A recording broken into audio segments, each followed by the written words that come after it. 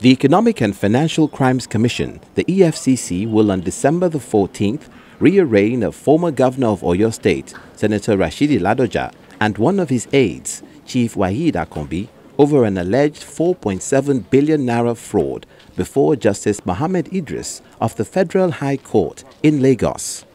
The new date was fixed by Justice Idris on Friday, November the 25th, following a ruling on an application by the EFCC seeking for the issuance of a bench warrant on the two defendants for not making themselves available to answer to the charges.